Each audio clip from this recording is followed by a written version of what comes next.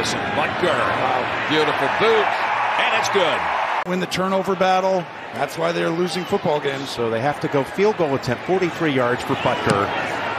And dead center with that one. Here's a fourth and four at the nine. They'll bring out Butker again. He was good from 54 and 43, and this one from 27. No issue. Each field goal attempt has been shorter 53, 43, 27, and that one good.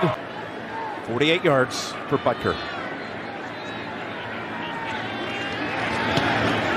And Harrison Butker, good again. This is 46 yards, Tone, for the eight point lead. And Harrison Butker is the only man to score in the last one hour and 53 minutes.